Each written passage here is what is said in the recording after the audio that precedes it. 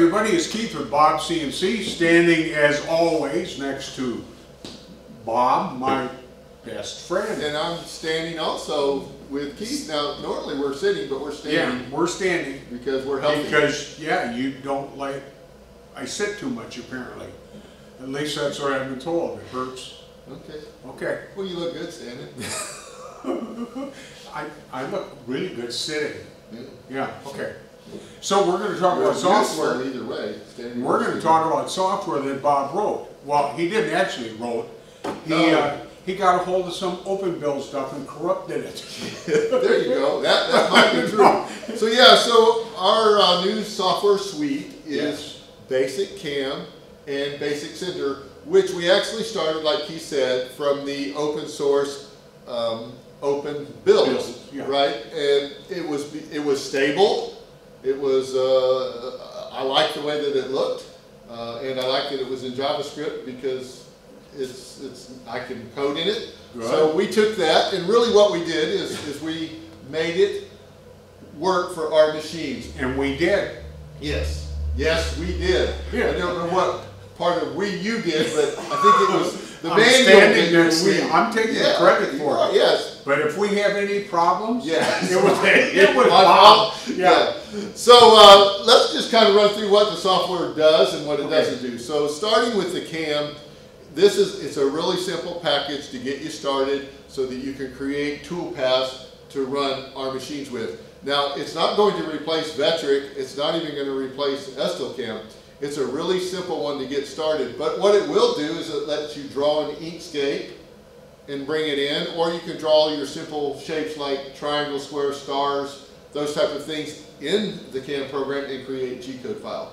But it's, it's, And it's not, text. and text, yeah. Yeah. But it's not going to be your 3D, it's not going to be your guitar builder's choice, but it definitely would get you started. As a matter of fact, honestly, I really think that I could manufacture all of our CNC machines using the Open Builds CAM. And the reason you could do that though is because you work primarily into an AFD, Yeah, exactly. So I can import the DXFs, Right. create the tool paths, and then send them to the which center. is why, as wonderful as it is, it's really limited. yeah, For me. It's yeah, Yeah. for the type of work, the Yeah. 3D work that Keith likes to do, our resident artist. Sure. And, uh, well, Okay, well, yeah, better than We. Yeah, we. Yeah. Okay. We are artists. Yeah, Yeah, yes. I like that.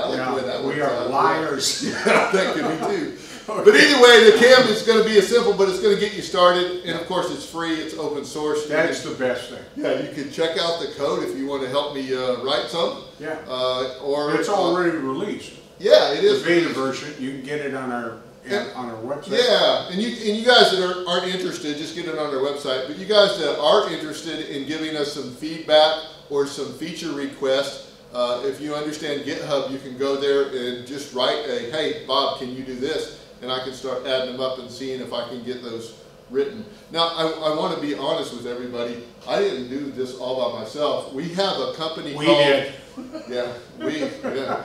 Well, yeah. Okay. We ahead. have a company called Element 11 that takes care of our stuff, and a guy named Ben and Kyle really helped me uh, get started with this and, and showed me what I needed to do, and also wrote some of it. So, uh, so those guys are awesome. So They I are. wanted to give them. So let's get to the Sender side. Yes. So the reason we wrote the Sender side was really uh, we wanted to make it for our machines so that you could actually flash your controller. Uh, the microcontroller has firmware on it. Yep. And we had a batch file which didn't work out really well for our Mac customers or Linux customers. Yes. However, now you'll be able to do that right in the basic Sender software. So if you mess up your firmware or you want to load something different, you can just actually load it straight from there. Yep. Uh, we also have it for a Revolution machine. So our Revolution machine has a rotating axis. So it's an XZA machine instead of an XYZ.